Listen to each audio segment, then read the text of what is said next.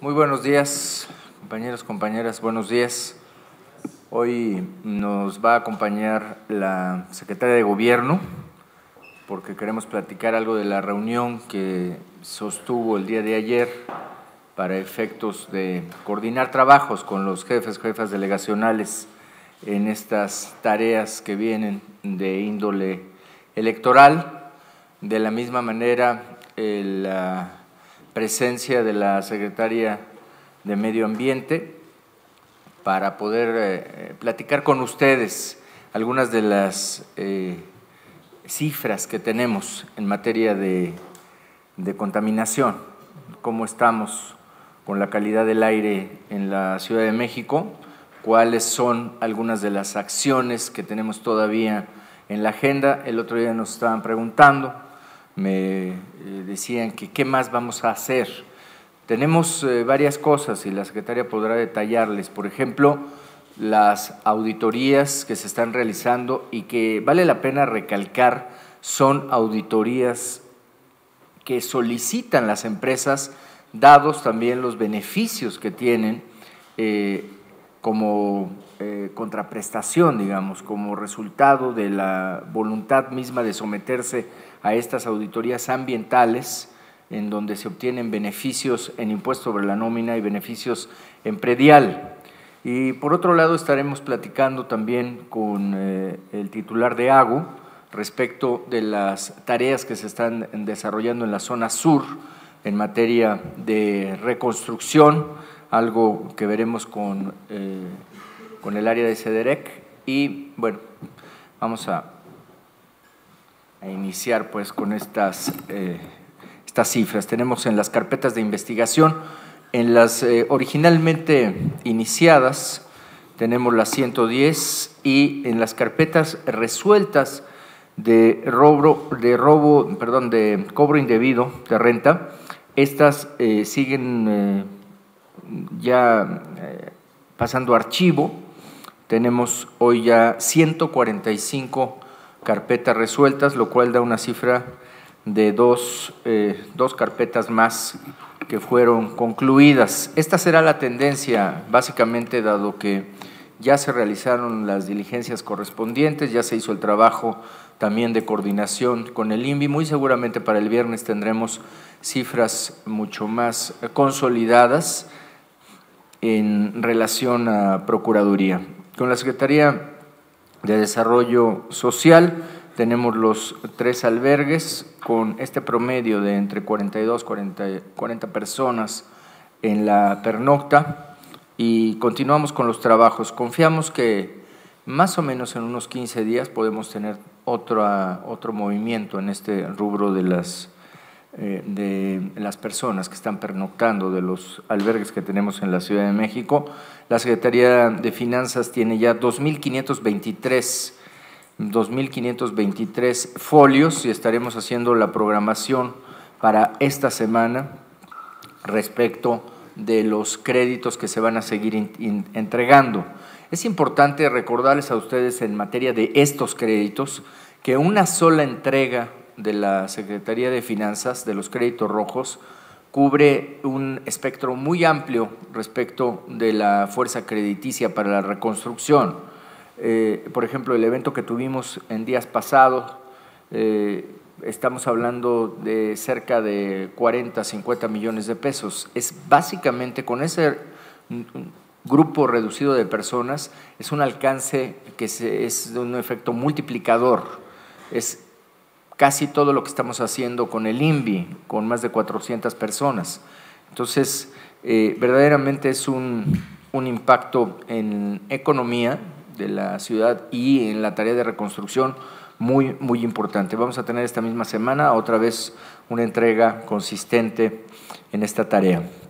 Eh, para el Sistema de Desarrollo Integral de la Familia, para el DIF, nos reportan 148 mil apoyos entregados, nuestra alerta 911 CDMX, 308.225 registros. De nueva cuenta agradecemos a todos los que confían en esta aplicación y que no solamente la bajan a sus equipos celulares, sino que por supuesto, están haciendo el registro, el trámite correspondiente. Lo que, la cifra que yo les comparto a ustedes es de registros efectivos, 308.225 en los promedios que hemos venido manejando, entre 1.000 y 500 personas son los registros que tenemos de esta aplicación. La Secretaría de Desarrollo Económico nos reporta 93 millones 135 mil 500 créditos en trámite, 49 millones ya autorizados por NAFIN y 4 millones entre MIPIMES y PYMES. Tendremos entrega también de estos créditos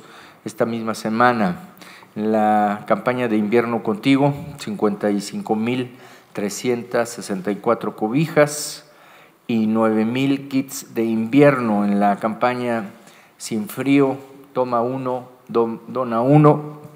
En las 23 mamparas seguimos trabajando con las cifras que hemos dado, donde estamos alcanzando, vamos a llegar, eh, calculamos, a más de 9 mil prendas en esta, en esta semana, con una entrega efectiva eh, arriba de 7.500.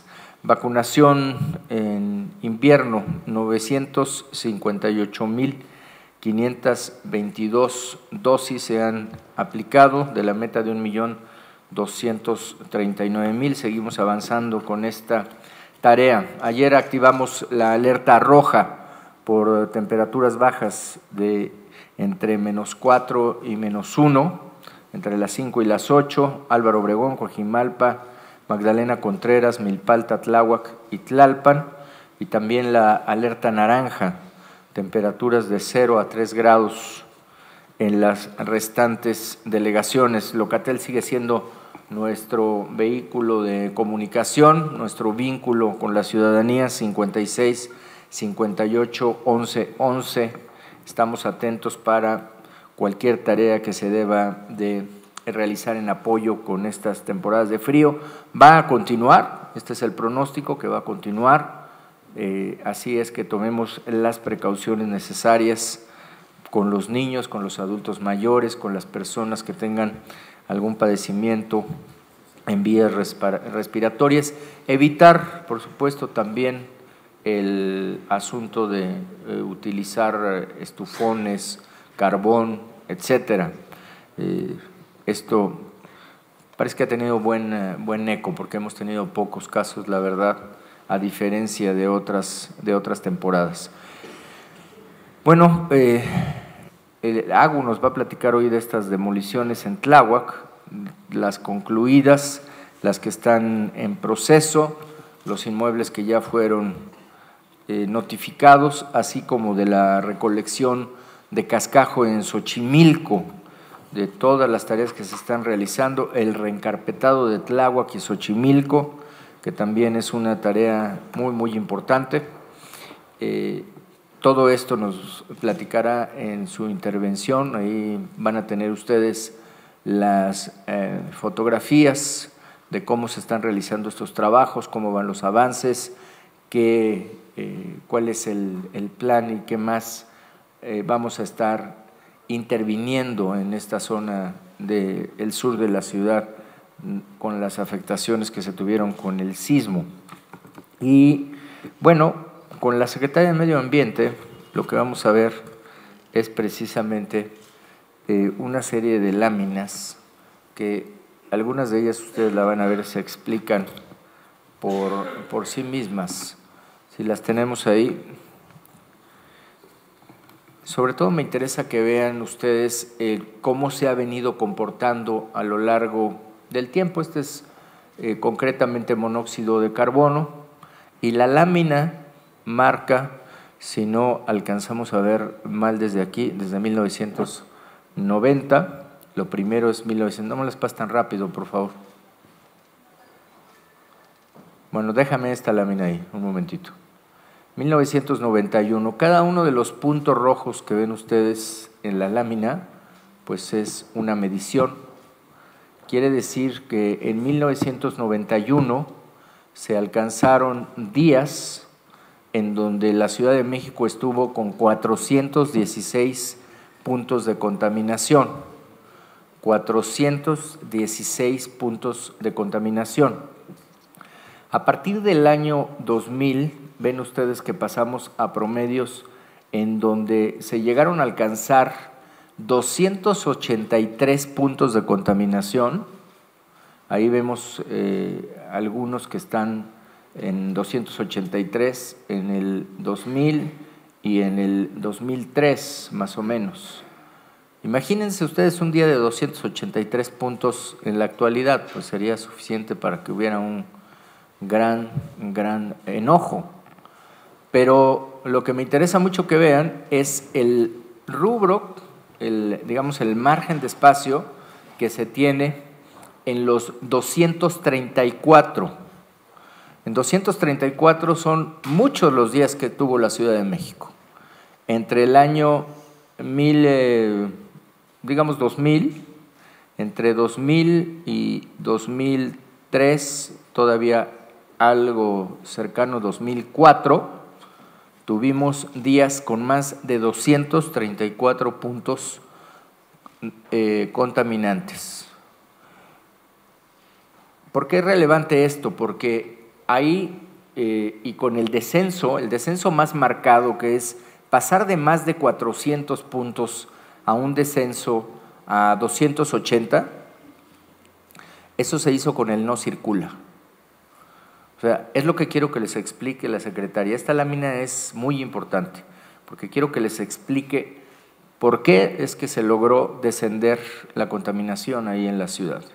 Y después ustedes ven en, el, en, la siguiente lámina, ah, es importante también si ven, por ejemplo, entre 2000 y 2005, todos los días que tuvo la Ciudad de México, todos los días que estuvo cerca de 200 puntos. Véanlo ustedes ahí. Cada punto rojo es un día medido. Entonces, nada más obsérvenlos todos los días que la ciudad estuvo cerca de o más de 200 puntos, hasta 221 puntos, que es el margen que tenemos ahí. Hasta el año 2007 todavía estamos teniendo un punteo que está eh, en los 221 puntos. Y después, digamos, de 2007 a 2012, vemos eh, pues que el margen que se tenía es este de 188, eran los picos que teníamos, 188, y llegamos a, nuestra, a nuestras fechas actuales, 2017, donde estamos logrando compactar esta línea, pero ya no tenemos en ninguno de los casos picos ni de 234, ni de 221, ni ninguna de las otras eh, líneas que ustedes pueden ver ahí. Entonces, me parece muy importante esta lámina para que ustedes la puedan ver con calma, para que pueda platicarles la secretaria exactamente cómo está esto, porque son muchas las cosas que se han venido diciendo y estas son las mediciones que se tienen registradas. Esta es la realidad de lo que está viviendo la Ciudad de México y estas son las acciones en donde de repente nos pasaron Quitaron la precontingencia, por eso ustedes ya no ven que exista esa fase. Eh, nos pasaron solamente a fase 1 y nos eh, eh, exigieron en la medición esos 155 puntos que no tenía la Ciudad de México. Si a nosotros nos hubieran dejado con la medición anterior, pues no lo sé, porque quizá no se hubieran endurecido las medidas como se tuvieron que endurecer. Entonces, el endurecimiento de las medidas en cada una de estas épocas de la ciudad es lo que muestra los avances. Ahí está clarísimo. Si no se hubiera adoptado el no circula en su momento, hubiéramos seguido con aquellas, aquellas cifras de 400. Pues imagínense hoy tener una medición de 400 puntos, ¿no? Sería verdaderamente un escándalo. Así que hoy la Ciudad de México está con estas mediciones. Hoy nuestra aplicación de aire reporta mala calidad del aire arriba de 100 puntos. Imagínense el comparativo con esto. Pues obviamente en el reporte eh, que se hace por los medios de comunicación dicen hay mala calidad del aire, pero porque estamos arriba de 100 puntos. Pero tenemos muchas zonas que estamos manteniendo con 80 puntos o menos de eh, gas contaminantes. Déjame ver otra de las láminas. Bueno, este es, este es otro también, para que ustedes lo vean. Y es cuando hablamos pues, de lo que se platica luego, ¿no? Para efectos políticos y de lo que es la realidad. Ahí la tienen ustedes. Esta es otra lámina clarísima. Número de días con concentraciones máximas de ozono mayores o iguales a 155. En 2000 tendríamos 248 días de estas concentraciones. Eso quiere decir que trasladada esta medición que se tiene hoy al año 2000 tendríamos 248 días en contingencia. 248 días, pues viviríamos en contingencia, básicamente. Digo, para ser más claros. Porque luego nos dicen ahí, este, pues que son como otras las cifras. Estas son las cifras oficiales, ahí están los archivos, ahí está todo lo que ustedes pueden consultar. Y bueno, todas estas láminas se las vamos a dejar. Pásame otra lámina. Ahí tenemos el mosaico histórico de concentración por eh, cada uno de los años. Miren cómo estaba en 1990 esta concentración, donde el color violeta significa extremadamente mala, el color rojo es muy mala, el color naranja es mala, amarillo regular y el verde buena. Entonces, esto les muestra en este espectro, que me parece clarísimo, cómo es que se ha comportado la Ciudad de México, cómo se está comportando. Vean el cambio que se tiene. Pues claro, en 1990 tendríamos 400 puntos, pues obviamente por eso tienen esos colores eh, que van con el color violeta mucho más intenso eh, para esa época después del no circula, va haciendo un cambio, pero hoy afortunadamente estamos pasando a más verde, verde amarillo. Y bueno, pues son los colores de la medición, no se vaya a tomar luego, pero así está. Es por eso que la Ciudad de México hoy está en el C40 y es por eso que tenemos el liderazgo en Latinoamérica, es por eso que nos entregaron este premio, este reconocimiento internacional. Y bueno, pues ahí lo tenemos. Y es por eso también que vale la pena que recordemos que lo que se está haciendo hoy con los verificentros es precisamente para poder estar en estos parámetros. Porque el siguiente paso de la Ciudad de México, si siguiéramos su historia así como la hemos presentado, pues es seguramente que podemos eh, respirar en una ciudad que en el siguiente eh, escalón pasara de 150 a 120, ¿no?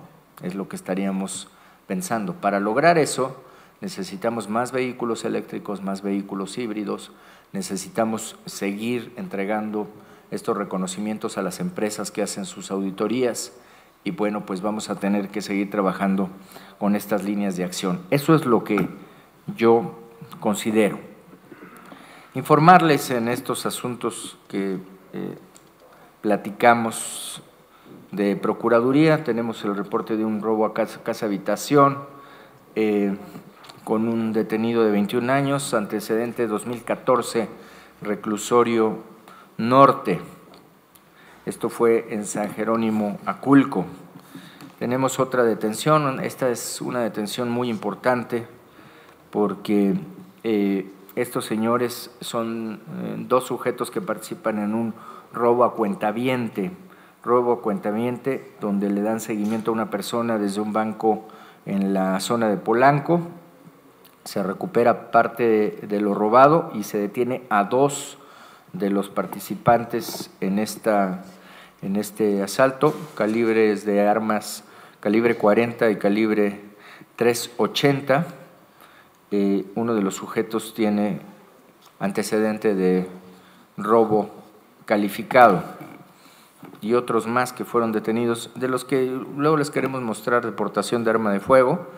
Bueno, pues vamos a darle seguimiento a ver qué sucede. Tenemos de los tres detenidos, eh, uno de ellos tiene dos antecedentes ya por robo calificado, pero se encontraron en posesión de un arma larga MSP G27 y una pistola marca Star. Vamos a ver, en el seguimiento estamos eh, pidiendo que se pueda tener mucha comunicación ahí con, con la Procuraduría General de la República. Y eh, con la Secretaria de Gobierno vamos a platicarles de esta reunión en donde quiero destacar, y le pedí a ella también que pudiéramos eh, compartir con ustedes, llegó una comunicación de los jefes delegacionales de Morena, donde piden tener otra reunión, una reunión solamente con el grupo de jefes delegacionales de Morena, a lo cual hemos eh, platicado con la Secretaría de Gobierno y se volverá. Con mucho gusto se hace otra convocatoria, pero no puede ser una convocatoria particular, no puede ser una convocatoria solamente para un grupo eh, específico, es una convocatoria abierta. Volveremos a realizar la convocatoria atendiendo a esta petición por escrito que hicieron los jefes delegacionales, excepto Cuauhtémoc. Vale la pena destacar que esa carta no la firma el encargado de la delegación Cuauhtémoc, solamente la firman los otros cuatro eh, jefes delegacionales y encargados de despacho. Eh, así que la petición de esos cuatro jefes eh, delegacionales, de esas cuatro demarcaciones, pues se atenderá, pero otra vez en conjunto. No podemos hacer una reunión específica para un grupo en lo particular, dado que los temas son de interés general y son temas que ocupan a todos los jefes delegacionales y no solamente a uno en específico. Así fueron los temas que se abordaron el día de ayer y así sería la tónica de esta reunión. Con mucho gusto vamos a atender el escrito. Reitero que no viene firmado por la delegación Cuauhtémoc, porque lo que le haríamos la convocatoria extensiva también a la delegación Cuauhtémoc, sin partir de la base pues, de que hubiera firmado, puesto que no fue así.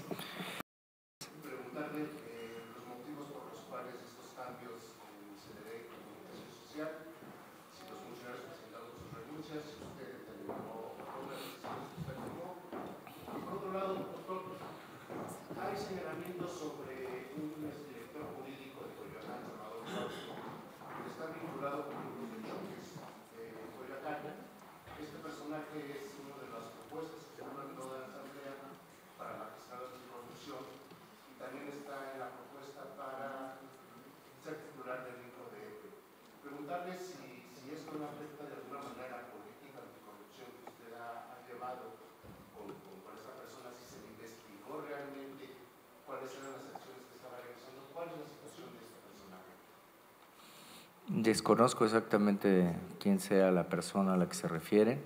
Los procedimientos eh, oficiales, obviamente, de la asamblea o las propuestas que cada quien tenga, eh, pues serán a través de la, de la formalidad que se determine, la formalidad misma que quiere decir eh, conforme al, a lo que hoy tenemos no es solamente una propuesta directa, sino seguramente tendrá que haber un proceso de, eh, de auscultación.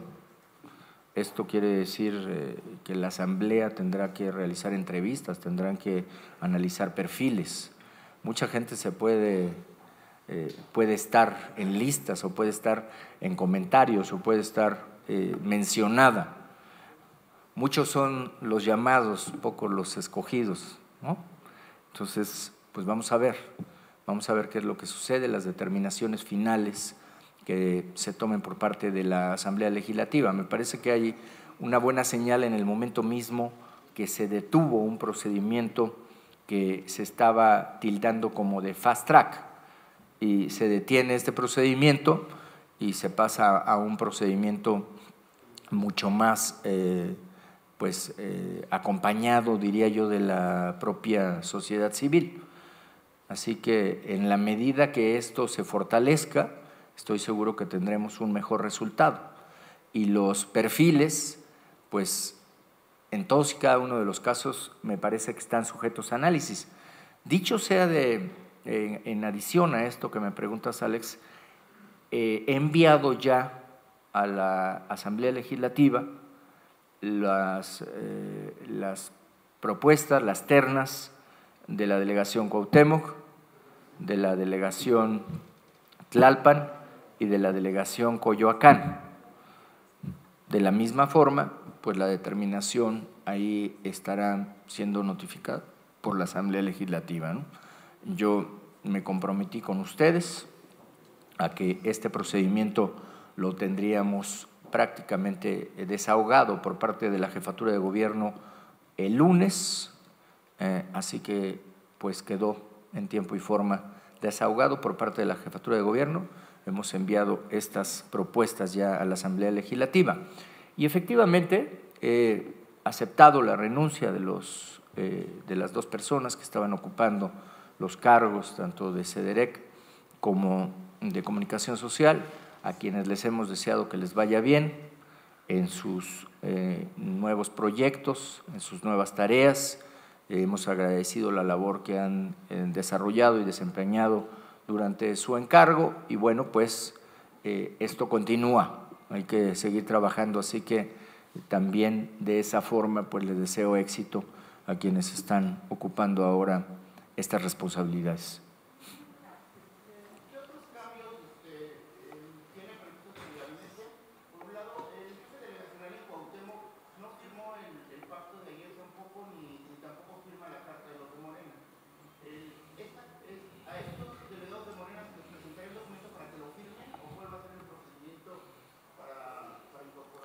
Ahora les va a platicar la secretaria de Gobierno, Manolo, pero básicamente lo que están solicitando es otra reunión. Entonces, bueno, pues eh, se responderá eh, conforme a lo que está siguiendo en su línea de acción el Gobierno de la Ciudad de México. Y efectivamente, te, te reitero, por ahí debe tener el documento la secretaria de Gobierno, que seguramente podrá compartir con ustedes. No viene la firma del jefe delegacional encargado de despacho en en Cuauhtémoc.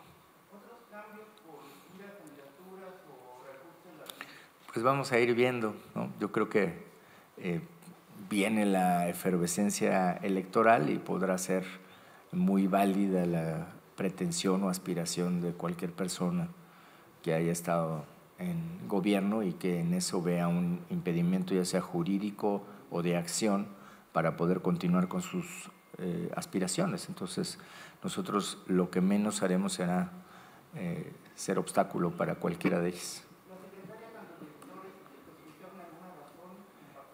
Eh, no, simplemente que tenían algunos, algunas otras tareas, otros proyectos, otras ocupaciones, otras, digamos, otros planes personales, estrictamente personales. En ninguno de los casos hubo algún motivo de salud o, u otra índole y bueno, pues nosotros les deseamos mucho éxito.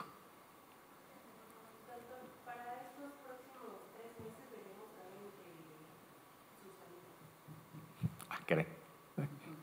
Eso ya me sonó. Mira, yo estoy convencido de que lo primero que nos ocupa hoy es eh, reforzar esta tarea de reconstrucción. Entonces, eh, tenemos todo el mes de enero, tenemos todo el mes de febrero y hasta ahora no hay otro plan concreto. Hoy tenemos ya planeado todo lo que estaremos haciendo enero, febrero. Vamos a ver también cómo fluyen los recursos, yo se los decía el día de ayer, para seguir haciendo la planeación de los meses subsecuentes. Yo con ustedes compartí un mensaje en donde dije que me quedaba aquí al frente de la Ciudad de México, que este era mi lugar y que solamente un llamado a poder servir a mi país, a servir a México en una responsabilidad concreta, solamente un llamado muy específico, algo que sea eh, y que esté dentro de lo que queremos nosotros alentar, pues podría hacer un movimiento eh, en estos planes o podría dar una eh, un, giro. Entonces, eso no está hoy, hoy es el tema es la Ciudad de México, la ocupación es la Ciudad de México y lo único que sigo sosteniendo y sigo teniendo como aspiración es que México pueda cambiar de régimen, que México pueda cambiar de régimen, que se pueda hablar de un gobierno de coalición. Sigo sin escuchar una sola propuesta en este sentido. Me preocupa porque verdaderamente eh, está agotado el presidencialismo en nuestro país. Está agotado por donde lo veamos, está totalmente agotada, es una fórmula agotada. México ha tenido muchos cambios, México ha tenido cambios que vinieron pues desde los eh, cambios eh, de formas de gobierno con la independencia, los cambios y los vaivenes eh, fuertes en la lucha de conservadores, de liberales, los cambios que se dieron en el restablecimiento de la República, ha tenido cambios que eh, en aquellas épocas desgraciadamente fueron cambios que se realizaron a través de las armas, fueron cambios con la revolución, cambios violentos. Hoy a lo que estamos aspirando es a un cambio en paz, a una transición política madura de reflexión, pero sí un cambio de régimen. Me parece que está agotado ya este modelo. Si nosotros volviéramos a tener un modelo presidencial, pues eso vamos a tener, eso vamos a tener. O sea, no esperemos que sucedan cosas nuevas si se sigue haciendo lo mismo. Entonces, eh, yo lo que creo es eh, que tiene que haber una transformación, una transformación que debe ir acompañada, pues, de una forma de gobierno que sea también adecuada a la época que vive nuestro país. Ya se ha demostrado que el gobierno de coalición es algo que puede dar un cambio al régimen y puede acotar lo que es un presidencialismo agotado hasta ahora. Entonces, impulsar esto es algo que sí está en mi agenda, es algo que estaré yo promoviendo, además de estar ocupado en las tareas propias de eh, la jefatura de gobierno. Hoy le deseo mucho éxito a mis compañeras que se integran. Vale la pena tomar esta nota, que el género pues está presente, que son dos mujeres las que estarán al frente de estas tareas en el gobierno de la Ciudad de México. parece que eso es algo importante de destacar en, este, en esta encomienda y bueno, pues eh, hay que seguir. Nosotros tenemos todavía mucho que trabajar con la gente, estamos en el día a día y eso es más o menos la perspectiva que tenemos para lo que viene. Ya, Lila, ¿cómo estás?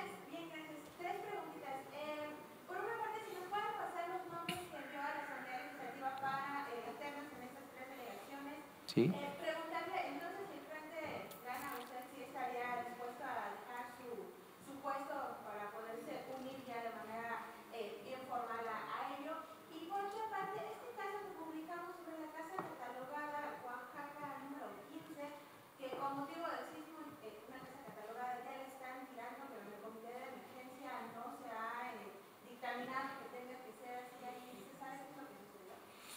Ese, desde el día de ayer lo hemos encargado ya para que lo verifiquen, tanto eh, en la Secretaría de Gobierno, que está pidiendo ya los informes, seguramente en el transcurso del día de hoy la Secretaría tendrá ya una información clara sobre este inmueble y podrá agregar eh, datos del mismo, si no es que ya tiene algo, algo más.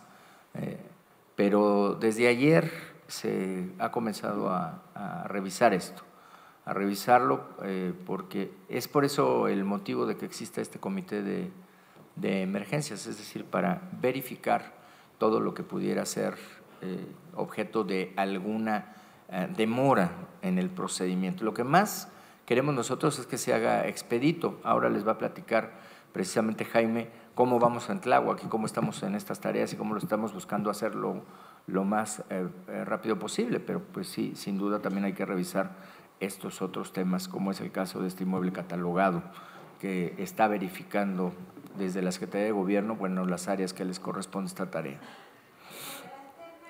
La terna con mucho gusto se las eh, proporcionaremos. Adelante. El frente, eh, mira, yo creo que ahora no hay que anticiparnos. Eh, a mí, me, a mí me, me interesa impulsar esto que se ha propuesto por escrito en el frente. Me interesa mucho impulsar. Yo se los dije a ustedes, yo quiero ser un eh, vigilante de que se cumpla con esta tarea, de que se lleve a cabo esta transición, este cambio en el gobierno de coalición. ¿Qué estoy esperando? Pues que inicien estos trabajos. Debe de haber un grupo de trabajo que se aboque a ver cómo podría funcionar un gobierno de coalición en la República. No es un tema sencillo porque implica reformas jurídicas, reformas eh, normativas importantes y obviamente se tiene que hacer una propuesta. Hay varias maneras en que se puede presentar un gobierno de coalición, hay varias formas en que se puede hacer esto, desde las más eh, parlamentarias hasta eh, algunas otras combinadas. Entonces, esta es la decisión que debe tomar el país. ¿Cuál es la propuesta que se tendrá? Con el frente yo lo he platicado, yo abiertamente lo digo, lo he platicado en su momento con eh, Dante Delgado, lo he platicado con Ricardo Anaya, y me parece que él, que Ricardo Anaya, pues debiera, eh, y lo ha, lo ha dicho ya en algunas de las, eh, de las entrevistas que están por el cambio de régimen. Si esto es así, a mí me interesa trabajar en esta línea, la línea de cambio de régimen para México. Es lo que puede hacer diferente la propuesta. Lo demás es, eh, pues, quién se va a sentar en la silla y nada más, ¿no? Al grado de participar informándole a México en qué consiste el cambio de régimen. Porque necesita saberlo, es decir, hoy si yo hiciera un ejercicio rápido aquí con todos nosotros, dijéramos, a ver, ¿qué pensamos del cambio de régimen? ¿Qué te imaginas tú que es el cambio de régimen? Van a ver cómo hay diversas opiniones y cómo habría diversas ideas. Entonces, ¿qué es lo que estamos planteando? Vamos informando de qué se habla, cuál es la propuesta, en qué consiste, qué tiene que hacer cada quien.